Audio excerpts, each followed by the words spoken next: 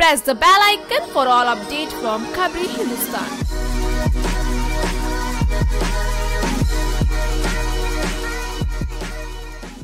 पिछले कुछ वक्त से लगातार विवादों में रहने वाले कपिल शर्मा ने अपने फ़ैन से नए शो के साथ जल्द वापसी करने का वादा किया है अप्रैल में ट्विटर पर एब्यूसिव लैंग्वेज का प्रयोग करने वाले कपिल ने गुरुवार को ट्विटर पर वापसी की और अपने स्वास्थ्य और जीवन शैली के बारे में बताया कपिल का कहना है कि वे अपनी लाइफस्टाइल बदलने की कोशिश कर रहे हैं और जल्द ही एक नए शो से वापसी करेंगे कपिल शर्मा ने गुरुवार देर रात ट्वीट किया hello friends hope all well Let's have a chat tonight by 11 pm. Till then, listen this Punjabi dance number by my friends Dr. Juice and Jora Randhawa. Twitter पर कपिल के एक फैंस ने कहा कि उन्होंने कपिल को बहुत मिस किया इसके जवाब में कपिल ने कहा कोई समस्या नहीं जल्द ही कुछ नया शुरू करूँगा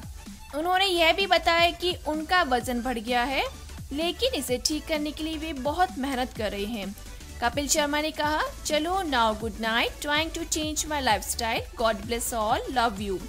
बता दें, सुनील ग्रोवर के अलग होने के बाद कपिल शर्मा की फ़िल्म फिरंगी रिलीज़ हुई, जिसे बॉक्स ऑफ़िस पर कोई खास रिस्पॉन्स नहीं मिला। इसके बाद कपिल ने फैमिली टाइम विद कपिल से टीवी पर वापसी की, लेकिन इस शो के दो ही एपिसोड टीवी पर प्रसारित हुए।